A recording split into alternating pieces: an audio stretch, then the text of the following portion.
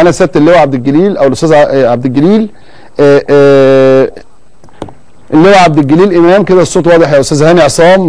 مكسر الدنيا يا أستاذ هاني. شكرا يا أستاذ كده واضح. خلاص يا أستاذ خالد تكلمني أنت. ده هناك في خروشة. عند الأستاذ هاني في خروشة فكلمني. أستاذ عبد الجليل إمام رئيس لجنة التعاقدات في نادي الجونة. يا أستاذ عبد الجليل أهلا بحضرتك. أهلا وسهلا بحضرتك أهلا يا فندم أهلا بحضرتك. أنا بحيي نادي الجونة وإدارته على قرارها بشأن آه، أحمد عيد عبد الملك. الله يبارك في حضرتك الله يخلي حضرتك. يعني ده قرار ينم عن حرص على المبادئ احترام للنادي الأهلي رفض لسخرية نجم كبير من نادي كبير. أه وحضرتك يعني هو ده مش غريب على إدارة نادي الجونة أيوه المحترمة اللي بتحافظ دايما على على مبادئها و...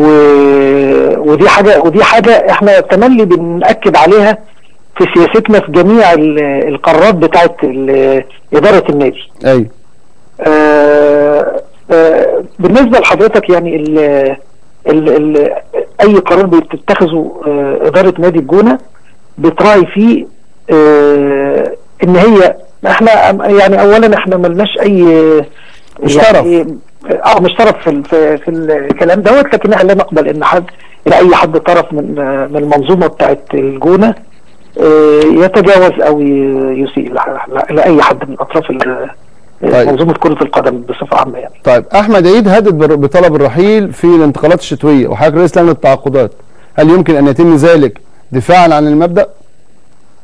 لا يا فندم لا لا هو ما هددش لا لا لا لا لا هو ما هددش بال- بالرحمة. الخبر موجود على كل المواقع بتقولوا شو لا, حضرتك لا لا لا ده كلام مش مظبوط يا فندم. طيب.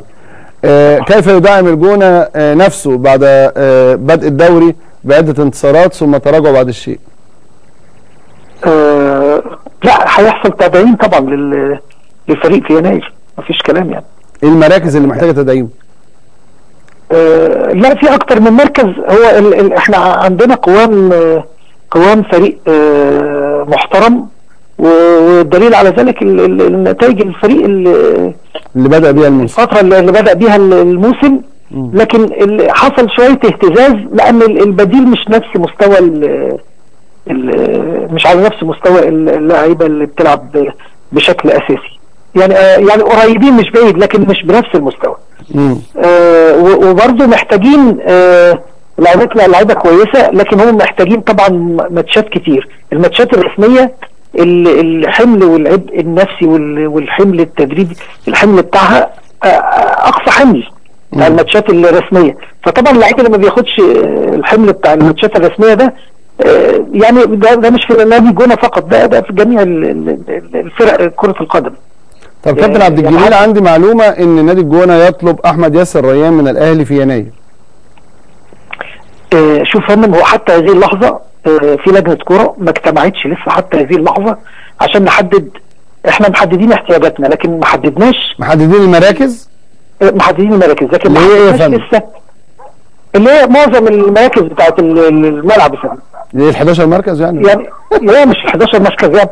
يعني يعني يعني محتاج في حراسة المرمى آه، تدعيم محتاج في خط الدفاع محتاج تدعيم في نص الملعب في في الهجوم؟ ال line- ال line forward طبعا طبعا. طبعا محتاجين زي اي زي أي نادي يا فندم إحنا محتاجين يعني هتبقى في حدود كام لاعب يا كابتن عبد الجليل؟ يعني من أربعة لخمس لاعبين إن شاء من الله أربعة لخمس لاعبين. طب عندي معلومة إن الزمالك عاوز ال back left بتاع الجونة. آه، والله إحنا ما جالناش آه، بشكل رسمي لسه اي أي طلب إحنا ما لأي بتبدأش رسمي. آه هم بادئين. بمحمود وحيد ولو ما جاش محمود وحيد ممكن يبقى في كلام معاكم. والله ما جالناش طلب رسمي إحنا بنتعامل مع آه، يعني مع آه، مستندات. هشام زكريا مستمر؟ آه طبعا طبعا. كابتن هشام هو اللي صعد بالفريق وهو اللي, اللي يعني تشكيل الفريق ده كله طبعا آه، كلها اختيارات الكابتن هشام زكريا. صف... صفقات إحنا إحنا وتدعيم إحنا, إحنا بنفضل الاستقرار دايما يعني يعني هو حضرتك ال- ال- الاستقرار ده من أهم عناصر النجاح. صحيح. هو الراجل الراجل باذل مجهود كبير جدا هو وجهازه وعاملين نتائج محترمة. وحضرتك لو لو بصينا للجدول آه، نادي الجونة برضو آه، يعني برضو مش بعيد هو في المركز لا مش بعيد. الثامن. مش آه بعيد. آه آه، بالظبط كده. يعني هو ماتش واحد يحصل قفز وتحرك سريع في في الجدول. طيب. إيه، آه. فإن شاء الله إحنا إن شاء الله يعني متفائلين و... وعندنا ثقة كبيرة في الجهاز بتاعنا وإن شاء الله الفريق, الفريق إن شاء الله هياخد مركز كويس بإذن الله إن شاء الله. شاكر لحضرتك كابتن عبد الجليل امام مدير مدير التعاقدات في نادي الجون. شاكر لحضرتك. ننتقل من آه، آه، الأمور دي للنادي الأهلي. عندي شوية أخبار ربما فيها حاجات انفرادات وهو إن في أمر أثار غضب الكابتن محمود الخطيب في تونس وأمر ده بيعتبر خطأ إملائي إداري. خطأ إملائي إداري. يعني إيه؟ معروف إن الفريق الضيف دايما سواء في مصر أو خارج مصر أو في أي حتة بيتمرن في نفس توقيت المباراة الساعة 8 مثلا أو الساعة 9 فكان مفترض النادي الأهلي يت- يتدرب في استاد رادس الساعة 8 اللي هو موعد المباراة بتوقيت تونس 9 بتوقيت القاهرة. الإداري ماهر عبد العزيز قال لا ده التمرين الساعة 6 لعيبة النادي الأهلي راحوا وتنهم قاعدين في الباص لمدة ساعتين. واستنوا لما الترجي يخلص تمرينه ثم بدأوا تدريبهم الساعة